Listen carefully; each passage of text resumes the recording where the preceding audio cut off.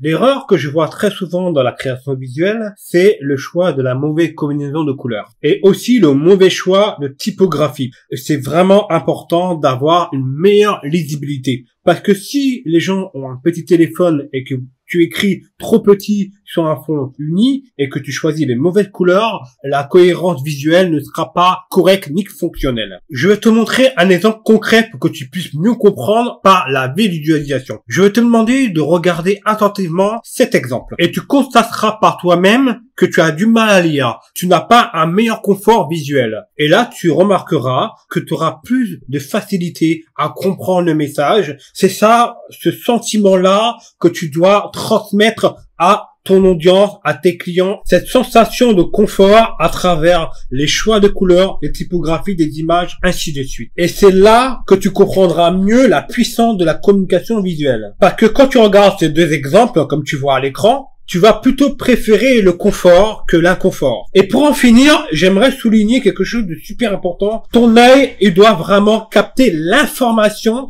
qui va enregistrer et qui va envoyer directement au cerveau. Parce que le cerveau va stocker toute l'information qu'il a captée depuis la vue. Si tu es brouillon, et bah, ta vue sera brouillon et ton cerveau sera brouillon. Comme tu l'as compris, tu dois absolument être clair dans ta création visuelle afin que les gens puissent comprendre ce que tu communiques. Et pour en finir, tu dois impérativement soigner ton travail donner du sens à ce que tu fais. La raison pour laquelle tes couleurs sont mauvaises, c'est que tu n'es pas en accord avec ton univers graphique, avec ta charte graphique de ton branding, image de marque. C'est-à-dire que tes couleurs, elles doivent refléter ta personnalité, l'ADN de ton business. Une autre raison pour laquelle tes couleurs sont mauvaises, c'est que tu n'as pas appris la psychologie des couleurs, son effet positif et son effet négatif. Parce que si tu n'apprends pas la psychologie des couleurs, tu auras toujours du mal à créer une belle combinaison de couleurs dans tes créations visuelles. Les personnes qui changent tous les matins de couleurs, ce sont des personnes qui sont pas claires avec leur business,